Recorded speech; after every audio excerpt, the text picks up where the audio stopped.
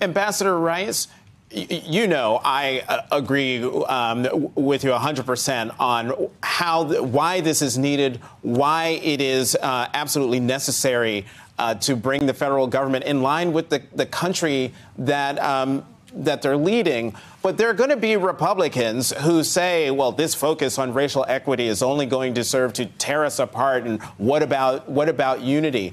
Make the case for why focusing on racial equity is paramount to moving this country forward.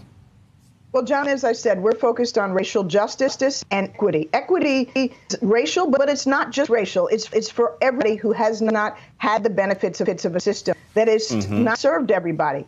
This is actually the opposite of dividing us. This is about bringing everybody, everybody in and being inclusive.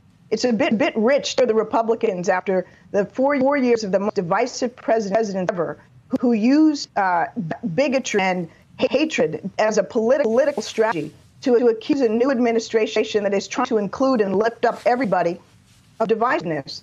But, John, there's also a very strong factual reason. It's not just about more moral leadership doing the right thing, as important as that is. But we know, know economic studies, one in particular uh, uh, last summer by Citi, that when we close racial gaps, when we close the racial wealth, wealth gap, opportunity gap, we create a a better, more prosperous country for all. For all. Lost $16 trillion to this economy over the last 20 20 years because of racial, racial disparities. And Citi has es- estimated that we could add more than $5 trillion and 6 million jobs our economy over, over the next five years if we close, close racial gaps uh, and opportunity gaps. So this is not about serving one group to the detriment of another. This, this is lifting everybody up and, ma- and making everybody safer and richer. So, so this is in our mm-hmm. collective mm-hmm. interest, and division is what sets us back. Ambassador Rice, I have to let you go, but before I do that, I was given a homework assignment um, in the earlier hour from David Hogg, the survivor of the Marjory Stoneman Douglas uh, Parkland um, shooting, and he had a specific question he wanted me to ask you. So I am uh, have a listen. We have it here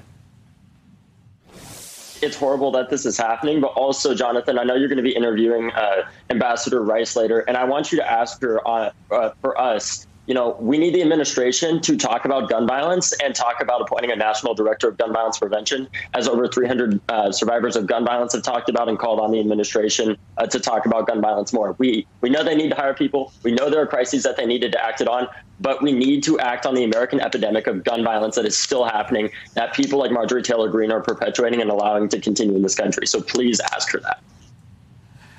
And so, Ambassador Rice, you've just heard David Hogg's question. Your response?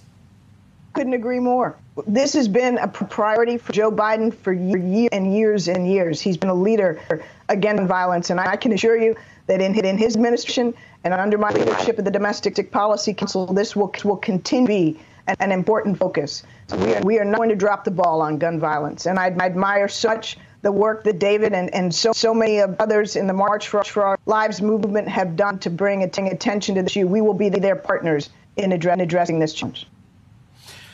Former Ambassador Susan Rice, Chief of the White House Domestic Policy Council, thank you very much. I hope you will come back to the Sunday show. We can talk more about specific things that you're working on uh, with the, the uh, Task Force on Racial Equity. Thank you very much for being here.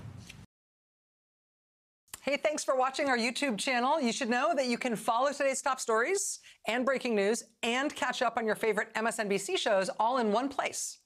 Download the NBC News app today.